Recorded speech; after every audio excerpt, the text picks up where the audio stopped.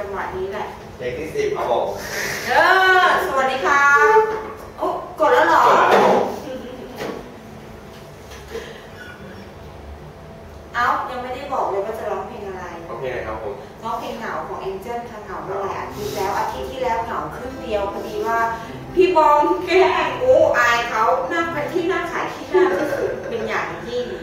อย่างโอเคนี้โอเคข้ค่ะอมูลละเอียดมาก